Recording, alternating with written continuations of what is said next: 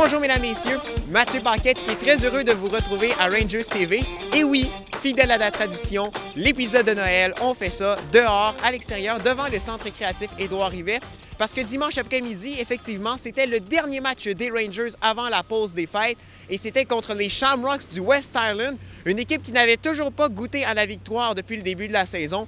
Alors on va aller écouter tout de suite quelques moments forts de la rencontre avec Gabriel Benoît à la description les Rangers qui sont dans le territoire avec, ça va être Kemp qui met énormément de pression faire la rondelle malheureusement et c'est les Shamrocks qui vont sortir du territoire. Il y aura un 3 contre 1 qui se dessine. 3 contre 1 avec Wilkie qui est là. Bon jeu de la part de Wilkie, mais c'est un tic et un but du côté des Shamrocks qui prennent les devants dans ce match-là. Pas exactement ce qu'on s'attendait à décrire aujourd'hui avec la victoire.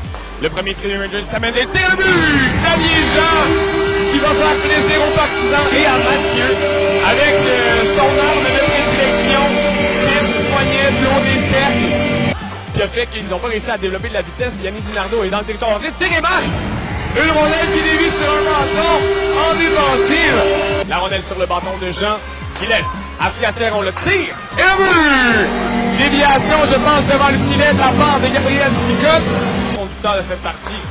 Interception, la passe vers Gabriel Sicotte qui s'amène en échappée de tir et le but! Gabriel Sicotte! On a la passe à la pointe à Pinel. La, la déviation et le but! C'était pas Pinel, mais bien Poulain qui avait la rondelle. Et Gabriel Sicotte qui marque son quatrième but du match.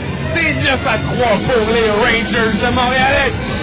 Le tout le monde qui embarque sur la glace. Et c'est comme ça que ça se termine. 11 à 3 pour les Rangers de Montréal. C'est un match qui n'a pas commencé exactement comme on le voulait, mais qui s'est terminé exactement comme on le pensait?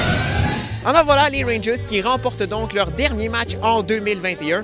Allons maintenant voir les commentaires d'après-match. Ben, ça vient avec l'effort. Quand on score des buts, euh, c'est pas nécessairement plus qu'on est chanceux qu'autre chose, mais j'ai travaillé fort. Mes teammates ils m'ont aidé. À la fin, quand j'avais deux buts, les gens venaient me voir, euh, Gab, il t'en manque un, juste un, puis ton troisième. Puis le chiffre d'après est arrivé. Puis le quatrième est venu euh, sur une, deflection. Puis je dirais que c'est pas mal euh, l'effort, puis ça va venir tout seul. Pas nécessairement, mais j'essaie d'être plus présent devant, devant le filet. c'est quelque chose qui aide grandement un défenseur quand il y a quelqu'un devant le filet pour dévier le puck. Puis ça l'aide ton équipe. Puis personnellement, ça m'a accordé deux buts. Je vais continuer à faire ça. C'est super, on a un très bon groupe de jeunes. Écoute, c'est nos vétérans, ils, sont super. Euh, ils sont là pour nous l'aider, peu importe la situation. Tout le monde est le fun. Euh, les entraîneurs, c'est leur première saison eux autres aussi, mais je trouve qu'ils dirigent bien. il y a pas, je dirais qu'il n'y a pas de meilleure équipe que je me sentirais mieux qu'ici. Je fais un Noël à tout le monde, et à un groupe d'entraîneurs, à nos coéquipiers, puis à nos partisans, puis à tout le monde. Joyeuse fête. Je pense qu'on a bien préparé les gars. Ils étaient bien avertis, mais... Euh, c'est vraiment dur de jouer contre cette équipe-là. De, se motiver. Puis euh, je pense que les gars ils ont réalisé après la première période que si on travaille pas. Euh, puis Coach UG a donné un, bon, un bon message entre la première et la deuxième. Mais on a simplifié notre jeu on a demandé, parce que eux, il, y avait cinq gars dans l'enclave, puis ils nous laissaient bourdonner autour euh, du filet. Puis on a simplement dit aux gars, euh, lancer au filet, puis euh, avoir du trafic, une déviation, un écran, puis c'est ça qu'ils ont fait, puis ça donnait des résultats. Mais c'était une équipe bâtie sur quatre trios, six défenseurs.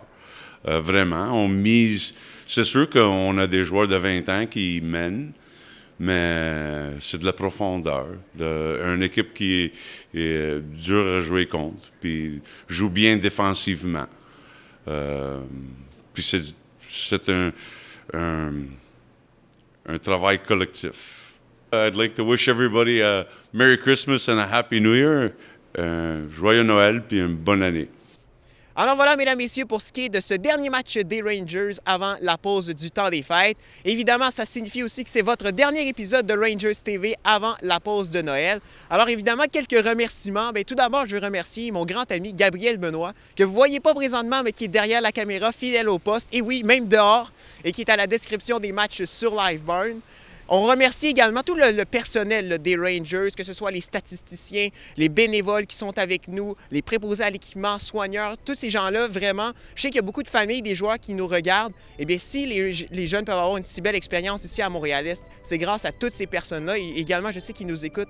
Donc, merci à toute la gang des Rangers qui font vraiment de cette saison vraiment un bonheur d'être ici à chaque match les entraîneurs, les joueurs qui sont toujours ici avec nous pour les entrevues et qui sont toujours bien ouverts de venir vous parler et vous livrer vos impressions d'après-match. Et on a vu quelques familles également des joueurs. Merci si vous êtes à l'écoute de Rangers TV et on espère vous revoir très rapidement parce que le prochain match des Rangers, évidemment, on va vous en parler, c'est en 2022. Ce sera le 7 janvier 2022 contre les Cobras de Terrebonne le vendredi soir à 19h30 ici même au Centre récréatif Édouard Rivet. Alors voilà, mesdames, messieurs, de la part de toute l'organisation des Rangers, on vous souhaite un excellent temps des fêtes, reposez-vous et on espère vous revoir ici même le 7 janvier. Au revoir!